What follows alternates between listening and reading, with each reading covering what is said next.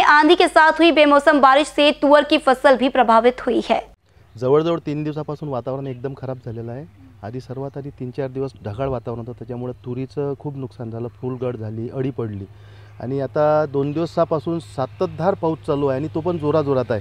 त्यामुळे कसं होत आहे माहीत आहे का? हे जे आपलं पांढरं सोनं ज्याला म्हणतो आपण म्हणजे कापूस हा तर अक्षरशः पूर्णपणे वाया म्हणजे पूर्णपणे हातातून गेलेला आहे. आणि याआधी कसं झालं सोयाबीन पिका पिकाला पण असंच झालं होतं. पावसामुळे कसं पाऊस नव्हता त्यामुळे कसं सोयाबीन हे पण हातातून गेलं. आता काय झालं माहीत आहे का? आता कापूस पण हातातून गेला. आणि आता एक आशा होती आपल्याला तुरीची. तूर म्हटलं म्हणजे हे विदर्भात चांगल्या प्रकारे होते पीक. आणि काय झालं आज अक्षर काय झालं माहिती आहे का? ढगाळ वातावरण वातावरणामुळे सर्वात पहिले अडी झाली. अडीमुळे काय झालं माहिती आहे का? ते फुलोर वगैरे पूर्णपणे खाल्लेलं गेलं. आणि आता पावसामुळे काय झालं माहिती आहे का? हे खूप पाऊस आला जोरात. याच्यामुळे काय झालं? ह्या ज्या तुरी आहे आता जमीन दोष झाल्या. त्यामुळे कसं माहिती आहे का? आता हे शक्यता नाही आहे तूर होण्याची. आणि निसर्गानं जर वारंवार असं केलं तर आपण शेतकऱ्यानं काय करावं?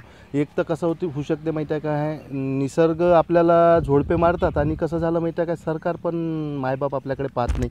आज कसं आहे? कास्तकारांना करून करून काय करावं? हेच आज म्हणजे त्यांना एवढं मोठं त्याचं कुटुंब असते त्याच्या बाजूला.